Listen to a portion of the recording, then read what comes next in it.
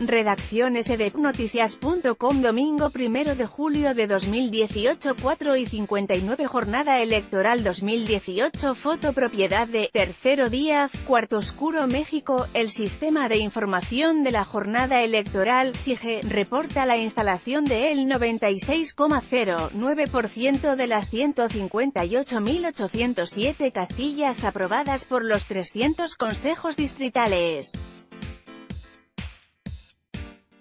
Con corte a las 2 y 41 horas, 150.674 se reportan como instaladas y 10 como no instaladas según el informe de avance de la jornada electoral que presentó el secretario ejecutivo del Instituto Nacional Electoral, INE, Edmundo Jacobo, quien afirma que en las casillas han acudido muchos representantes de partidos y candidatos independientes.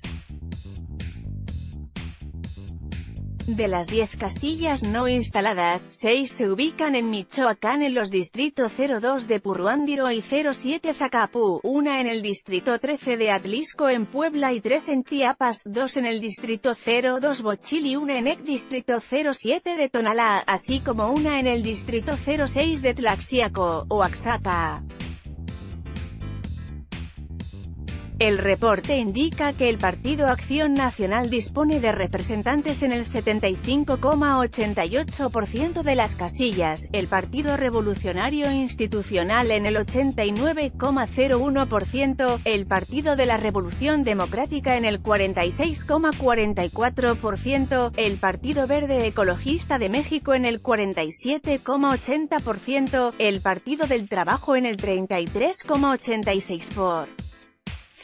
Movimiento Ciudadano en 35,49%, Nueva Alianza en el 51,17%, el Movimiento de Regeneración Nacional en el 82,06%, el Partido Encuentro Social en el 16,28%, el Independiente Jaime Rodríguez en el 4,37% y el resto de los independientes dispone en el 2,88% de las casillas.